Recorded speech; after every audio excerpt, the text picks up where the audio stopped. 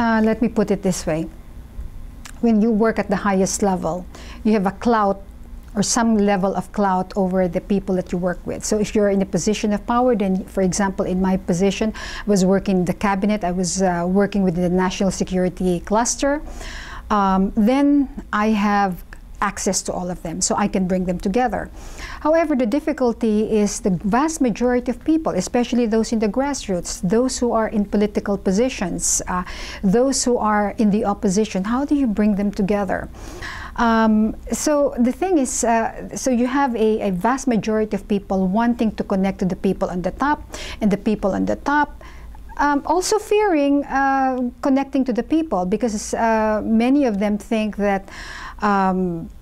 if they had if they have some very they have some ideas that they would like to work with they would simply want to persuade people at the bottom and not necessarily have to hear what the people have to say. You also have structures uh, in a democratic um, uh, in a, de democratic environment where uh, the process the processes that are being used are what you call um, non-inclusive. For example you would have hearings where there is somebody in front who gives his ideas and uh, groups of people asking one or two questions and they think they have a dialogue that had already been created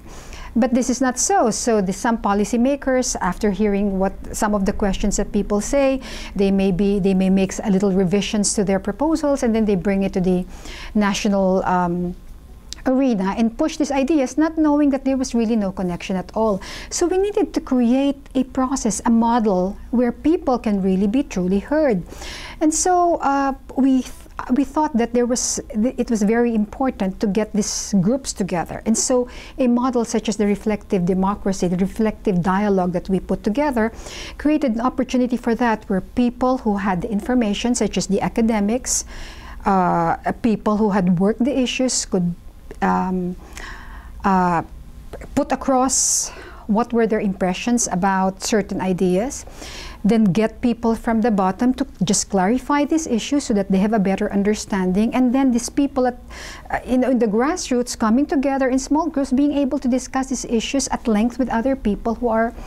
uh, as interested as they are in these issues from various levels. And then by this uh, what you might call cross-pollination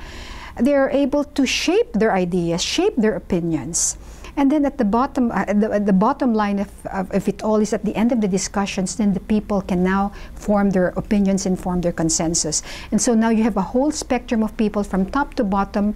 you know, having had the opportunity to really come together and create uh, decisions uh, together.